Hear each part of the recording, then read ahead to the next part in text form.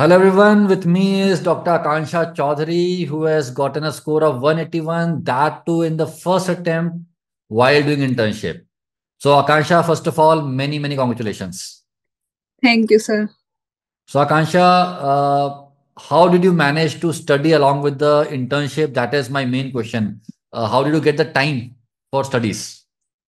so it's like um, we used to go to hospital in the morning and during the hospital rounds uh, i used to do the uh, late night pyqs like all the late night pyqs and question banks and pyqs during the hospital okay. and then we to request our teachers that we have exams so can you please let us go early okay. so we we used to come early by like before 12 or by 12 hmm. and then uh, after coming back we used to cook like in china we don't get food like especially vegetarian mm. and then after uh, we used to study uh, like uh, and then from 7:30 chinese time uh, we had our classes until 2 approx 2 usually we have classes so basically during the lap one we used to sleep for 5 hours maximum mm. 5 hours mm. then uh, after lap uh, lap one finished in lap two like we were quite relaxed because we did like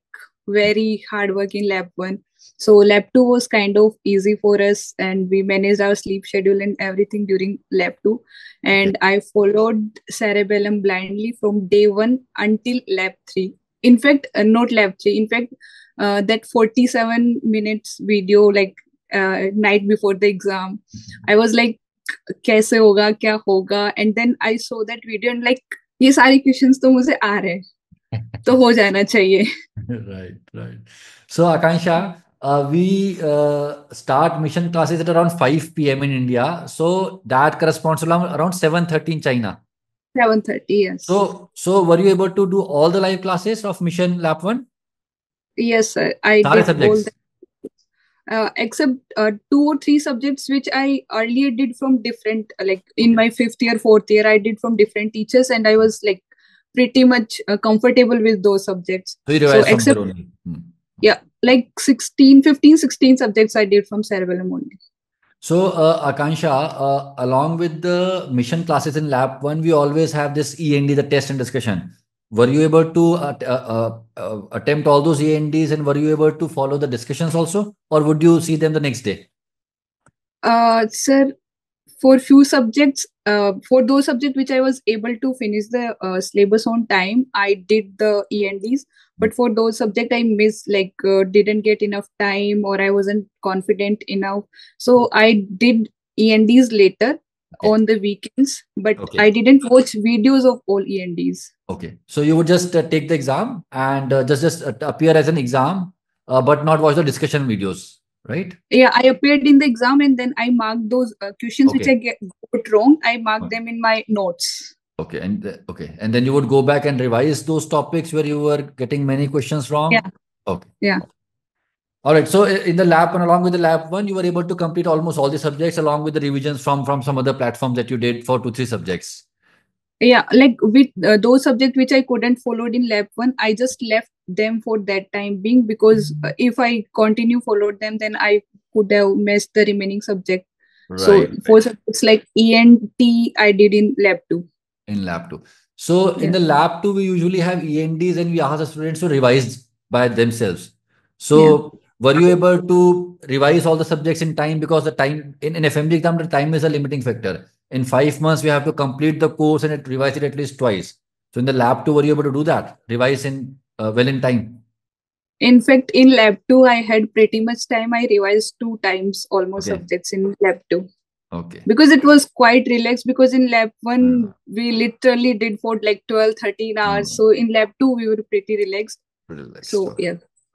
Uh, what about these late night PYQs that we have every day? Were you a user of that? That, that was the best thing. Okay. So you, you would uh, do all the late night PYQ sessions? I tried as much as I could. Okay, wonderful. Uh, Akanksha, the third thing is marathons that we have, which is a lap three. So the idea is that, you know, before the exam in seven, eight days, you know, help the student revise everything that in the life class. Did you follow the marathons? And if you did, how much did they help you? So I followed marathon in few subjects, but I followed marathon uh, schedule for all, all subject. Okay. Like the schedule that you provided, Hmm. I revised those subject in that day itself. Hmm. Except like nine on 9th, we have to go back to India. So Hmm. those ophthalma and those few subject, I watched the videos on 2x while I was going to my center. So I followed for few subjects, but Hmm. I followed the schedule for all subjects. Okay. So so you were following the mission 200 plus schedule from the day one till like the last day. Uh, blindly. blindly. Okay. So, uh, Akanksha, what is your advice to your juniors? I mean, there are many students who are still in their internship or still uh, in the in the first year or second year or third or final year. So, I, I want you to give some suggestion to those who are still doing their MBBS, yet to appear for the examination. And I also want you to give some advice to your colleagues who were not as lucky and who could not clear the exam this time. So, as somebody who Uh, has, yeah, please. to be honest, all my friends have passed. Like we three friends used to study together. One of Okay. them, Vivan, got 237 or 232. Wow. One of my friend got 211. Wow. And we we all three studied together from cerebellum. We used to discuss questions, and literally the questions we used to discuss, they appeared in exam. Right. Wonderful. And to my juniors, I would like to say uh, they should start studying like early. The paper is not that easy, and I must say them that follow cerebellum blindly. In fact, I remember uh, in PSM and in OBG, Rena ma'am and Vivek sir, they they like for particular question they said they're gonna come in exam, and Mm. like I am sitting on my study table and I have my sticky notes stick, and I can see around twenty to thirty questions like literally as it from what they said. Okay. So you said the exam is not so easy to pass, so one has to study hard. At the same time, exam is not that difficult that you can't pass it if you do hard work, right? Yes, yes. Consist uh, like you have to be consistent. You can't like one day you can study and you have to be consistent. You know, Akanksha, one of the best part is in the last uh, one, one and a half years, what I'm seeing is majority of the students who are passing the exam are able to do so in the first attempt itself.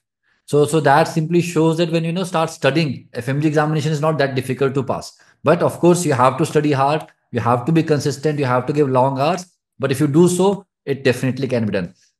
The second part of my question was, what about your colleagues who could not pass it this time? What is your advice to them? I would like to tell them that if you were not following cerebellum or if you are not a cerebellum use you should follow like cerebellum their okay but but as a strategy matlab, uh, i want you to motivate them that if i can do it with internship with so many things going on you can also do it. Yeah of course they can do it like uh, anyone who can who is ready to give 12 hours a day for like not every day 12 hours i won't say that hmm. but for the last two three months you have to give that Correct. 10 to 12 hours with uh, except classes like Hmm. six you to have seven you have to hours. build you have to build that momentum and in the end if you can you know push 10 12 hours it, it is more than enough to you know push you beyond 150 175 even 200 because in the in December we were like ab nahi hoga. We are so Oh. much of fatigue, but still somehow we manage like PYQ ही कर लेते हैं कुछ ऐसे ही revise कर लेते हैं so in end it was like that only Uh, Akanksha, uh, what is your opinion on the live classes that are held? Because you know, as a teacher, I would tell you, uh, teaching live the entire course is not easy because we have limited time given and we want to complete everything, and it's also texting because you have to speak to the camera. So, but but does it help a student in you know maintaining consistency and also you know staying uh, in sync with the schedule? actually it was the best thing like i was telling i did two three subjects from different platforms for those subject i couldn't complete them on time like Mm. for those subject i did them on either on a holiday or in the Mm. lap too so Hmm. i think live classes is the best thing Wonderful. Akanksha, I'm sure our parents must be very proud of you. And Yes. uh, many, many congratulations again. And and I hope that uh, once you are done with your internship, you come back to India and start preparing for NEET PG as soon as possible. Because we are very sure that our FME students will make us proud even when they appear for NEET PG or INI-CET. yes uh, we will definitely try our best All the best, my dear. May God bless thank you s- thank you so much